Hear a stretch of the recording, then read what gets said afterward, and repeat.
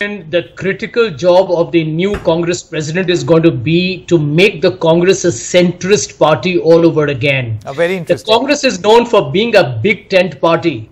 It is not meant to go as far left as it has become over the course of the last couple of years.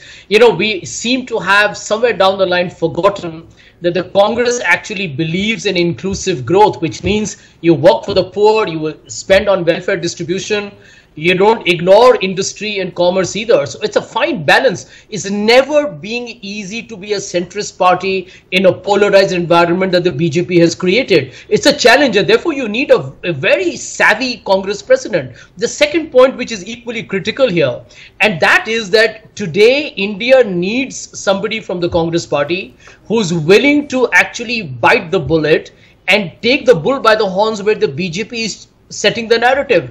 Now, in my opinion, uh, you know, this question being raised about whether Mr. Kharge is, you know, a Gandhi family backed candidate or not, it has a very simple answer. I would like it if Mrs. Sonia Gandhi or Rahul categorically state publicly that we have no favorites and everybody who's a delegate of the AICC should vote on their conscience. This needs to come from either Mrs. Gandhi or Rahul. It will. It is important to reassure people that this is not going to be an election where ultimately the BJP will completely trash it by saying, you know what, Mr. Kharge is a puppet candidate. In which case, despite the fact that the Congress is taking an effort to, to bring about a democratic election, it will become a political liability. Mm. And that is the critical point that the Congress needs to realize. And the last point, Sanket, I don't want Mr. Nasir Hussain or, or, everyone who supports the Congress to keep comparing with the BJP of how many elections they hold. I believe the Congress has a much more central,